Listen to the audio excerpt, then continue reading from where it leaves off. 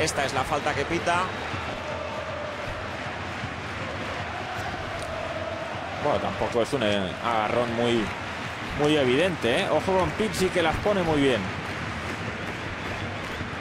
Va a colgar Pizzi. Se anima el público de Riazor después del 0 a 2. Ha visto cómo respondía enseguida su equipo con el 1 a 2 de Ricky. Casi 15 minutos de la segunda mitad.